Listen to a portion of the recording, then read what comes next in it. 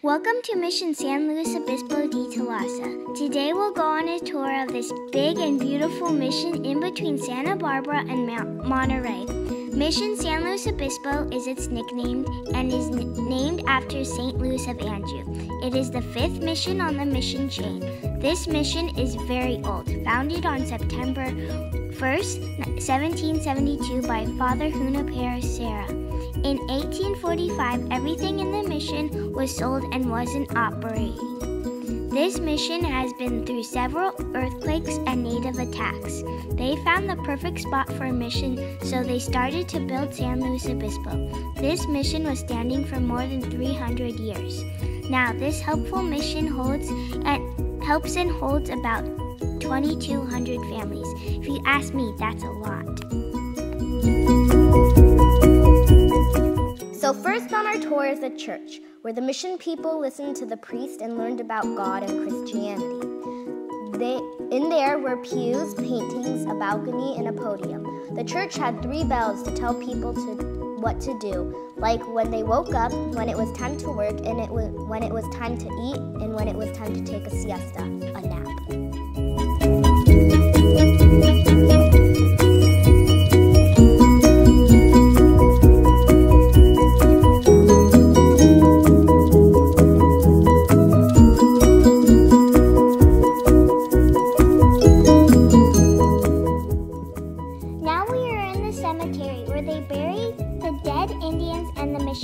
Who died. The Indians mostly died from beatings and deadly diseases brought by the, the Spanish.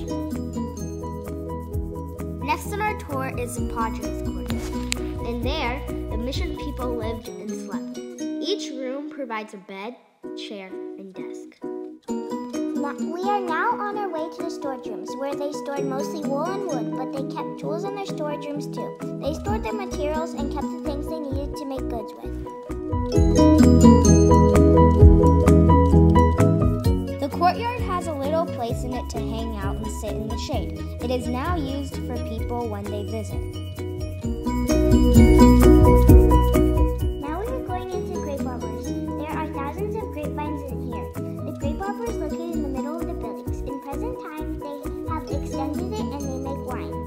Can see we are heading towards the garden. There is a fountain and some flowers. The garden is mostly for resting, enjoying the day, and looking at the beautiful flowers.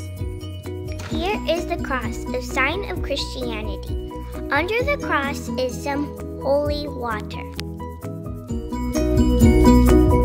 The workshops are next. and there, they would make things such as goods out of wood and stone.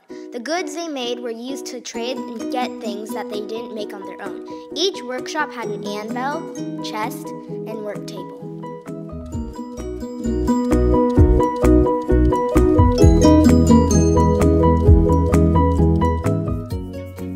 Now we are visiting our last stop, the farm. Unfortunately, we could not find exactly how much animals there were.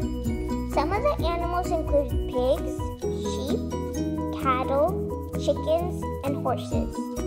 But we could not provide horses. Behind the animals were all the crops. Wheat, potatoes, and carrots are some of the crops they provided. These crops were used for them to eat so they could survive.